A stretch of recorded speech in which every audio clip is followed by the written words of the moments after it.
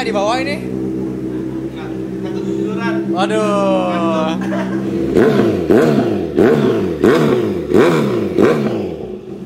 Gila gila gila.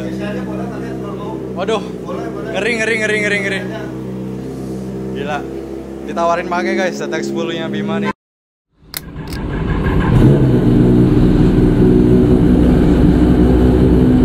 Ini mah salah satu motor idaman banget nih. Aduh.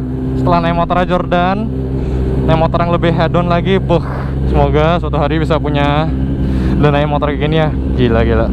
Ini makasih banyak juga untuk Bima dan minjem motornya guys. Sekalian dipanasin karena dia bawa zat 900 nya. Tapi kita nggak bakal wiliin motor ini karena sayang banget guys kalau diwiliin. Ini balik udah pakai rotobox juga, jadi harus ekstra hati-hati banget.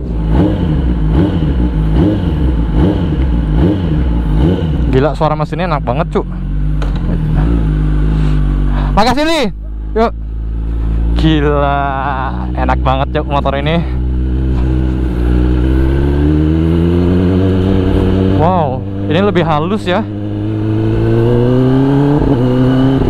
Cuman aku masih agak Kaku sama posisi ridingnya. Dan ini footstepnya juga pakai footstep letek Jadi lebih kecil guys. Harus kebiasa banget dulu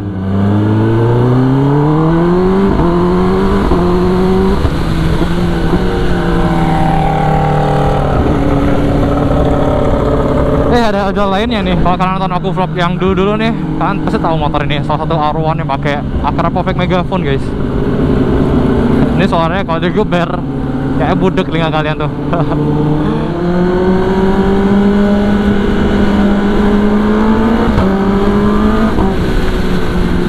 Setek 10R pakai knalpot aero enak banget ya. Kayak suaranya tuh lembut gitu, tapi tetap tetap ada tetap keluar gitu kas X 10 nya jadi nggak berisik di telinga enak telinga gitu enak denger suaranya. Ini kalau di remap biar kayak berak tak tak gitu dan suaranya lebih buas enak sih enak banget. Gila. ini modifannya kira-kira totalnya berapa ya? Coba deh kalian komen di bawah kalau kalian tahu berapa sih total modifannya ini. Ini koplingnya pakai apa ya? Wow wow. Begitu guys kalau Zetek 10 dibawa pelan dia tuh kayak endut-endutan gitu motornya.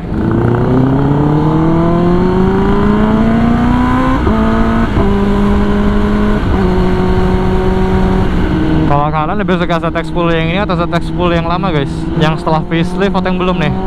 Kalau aku jujur mereka tuh berdua punya look yang berbeda dan gaya khas yang berbeda sih. Tapi kalau aku disuruh untuk disuruh beli yang ini sih udah pasti gila lihat tuh kalian bisa atur-atur settingnya guys. Shift lamp dan segala macem. Gila udah kayak mobil motor ini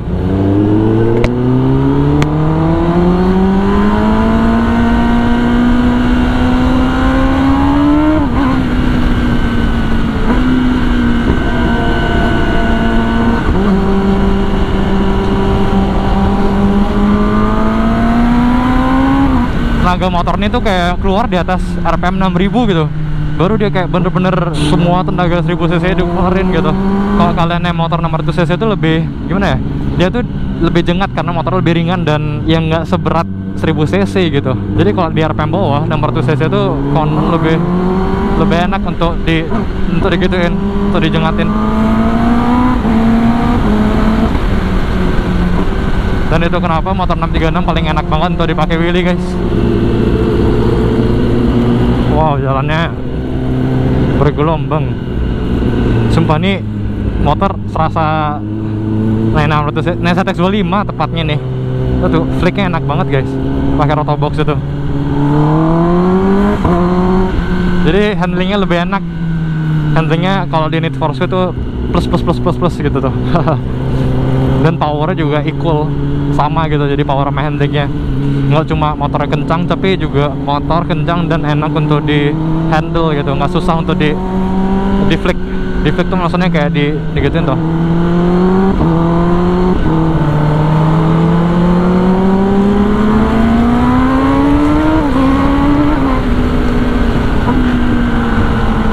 Gila, ini motor kalau ditarik ternyata keluar juga suaranya guys Jadi dia kalau di bawah halus motor ini Ya emang halus gitu suara knalpot yang enggak, enggak berisik.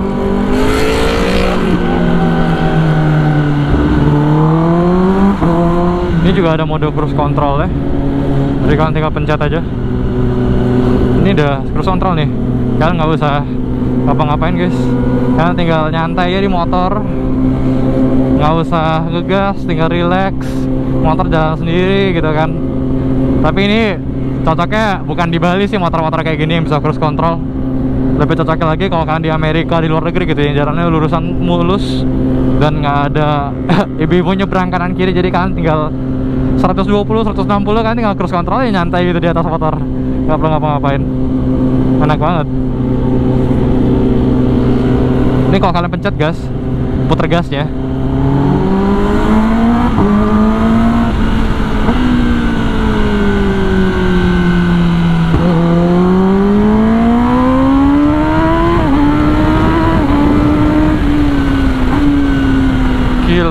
buas banget sih motornya.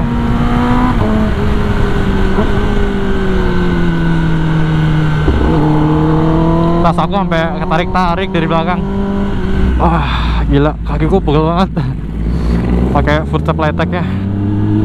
Soal dia tuh kayak bener-bener kecil gitu footstepnya nggak kayak footstep standar ya 1X10 sporty look sih cuman ya untuk convert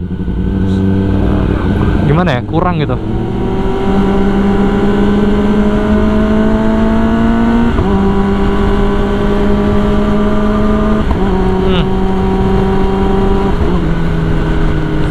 enak banget ya.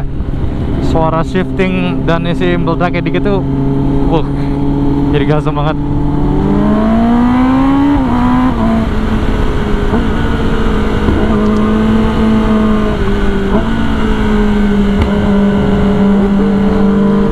Dulu aku sering banget ke sini guys. Karena jalannya emang enak banget. Buset. Gaya Bima kering. Pakai kaki guys. Tuh, wih asik ya. Pakai Jordan ya.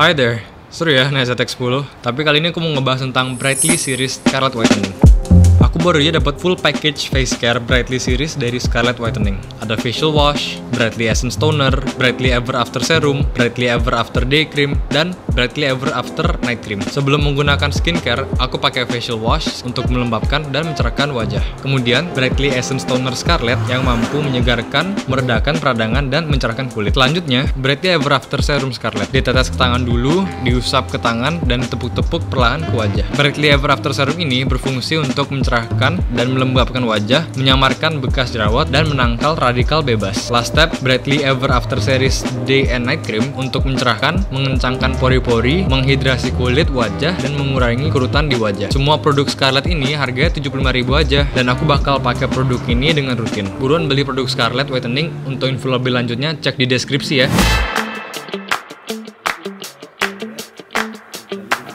Wih, sarapan hari ini full babi.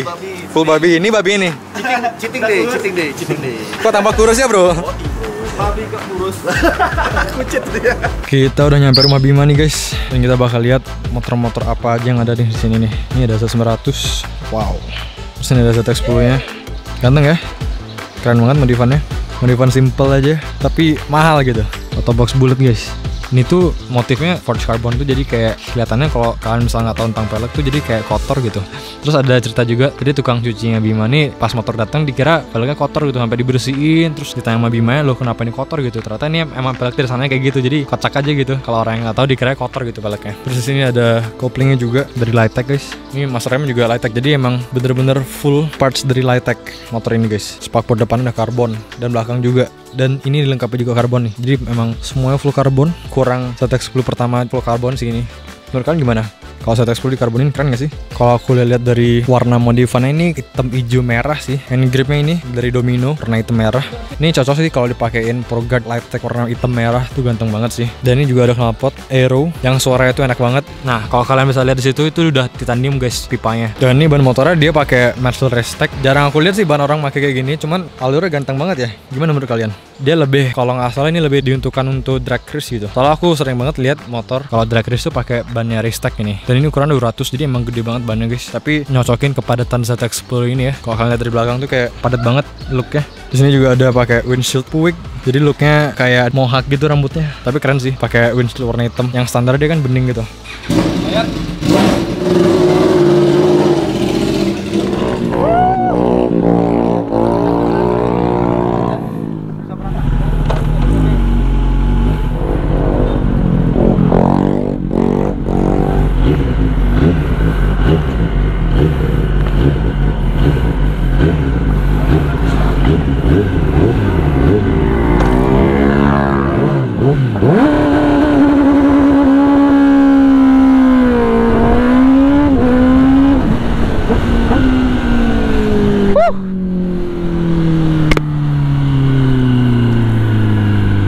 Gila Control ZX10 guys. Enak sekali pemirsa